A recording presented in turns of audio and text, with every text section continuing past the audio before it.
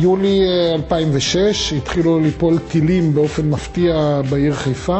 החלטתי בזמנו החלטה אסטרטגית. והיה וקטסטרופה כזאת או אחרת קורית בעיר חיפה, לא ילכו הילדים לבתי הספר, אבל ימשיכו ללמוד. ואז החלטתי שאני יוצר פרויקט של העלאת כל הלימודים, של כל המורים, בכל הכיתות, בכל בתי הספר בעיר, על האינטרנט. המערכת מכונה חיפה נט, היא פורטל שמבוסס על SharePoint של מייקרוסופט, שנותן מענה לכל הצרכים של מערכת החינוך והתרבות בחיפה.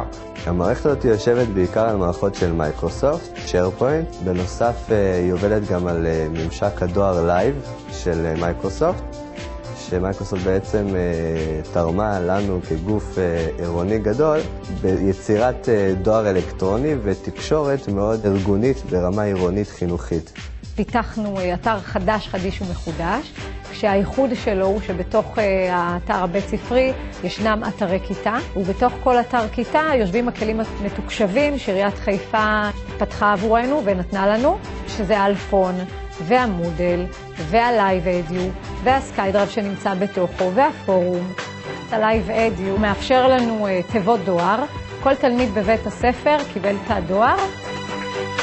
הערך המיידי של Live Edu זה הנושא הזה של אחידות בסיסמאות. אני מתחברת עם הסיסמה שלי לפורטל, אני מתחברת לאימייל שלי, האחידות מאוד מאוד נוחה. הפלטפורמה החינוכית הממוחשבת עבור הילדים היא כלי מאוד חשוב, כיוון שהיא מאפשרת להם להיות ברשת חברתית, אבל בתוך קהילה סגורה. קהילה חינוכית, שבה יש גם לי כמורה וגם להורים שלהם את האפשרות לעשות איזושהי בקרה. ב-Live Edu אני מתכתב עם חברים בצ'אט, ואני מעלה קבצים ל SkyDrive. יש לי המון דברים כיפים, למשל אני יכול לשלוח את האימיילים לחברים. כל המוז והמודל והלייבדיו עוזר גם בתקשורת בין תלמידים לבין המורים. למשל אם ילד חולה, אז יש לו את כל החומרים באתר בית ספר. הנוער היום הם במדיה ממוחשבת, ואם אנחנו רוצים אינטראקציה בריאה איתם או לעבוד איתם בצורה יעילה, אנחנו חייבים לפגוש אותם באיפה שהם נמצאים. והם נמצאים במדיה הווירטואלית. כיף לי ללמוד באתר הכיתה.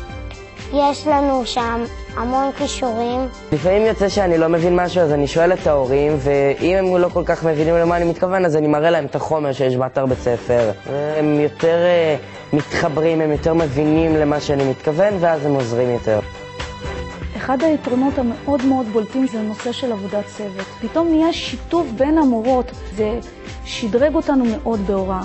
כל הנושא של למידה מתמחשב. אנחנו מצליחים להקים מאגר שיעורים, מאגר למידה. הפרויקט הזה הוא פרויקט יחיד מסוגו בעולם. אין עיר בעולם, ובטח לא בסדר גודל של חיפה, שכל הלימודים מכל סוג, של כל הכיתות, של כל המורים, נמצא על האינטרנט ונמצא זמין ומתעדכן כל הזמן.